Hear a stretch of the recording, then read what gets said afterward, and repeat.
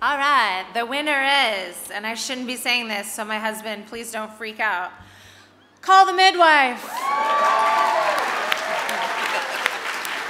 Yeah, thank, thank you. I mean, 10 years ago, we won Best New Drama. So here we are winning the family drama again as we make our 12th series. So thank you to the fans. Thank you to um, TV Choice as well for um, still believing in us and to Pippa Harris, Neal Street Productions, um, Annie Tricklebank, who's the backbone of the production, and the crew, the amazing crew, Heidi Thomas, the creator, Absolutely. and we need to thank the BBC as well.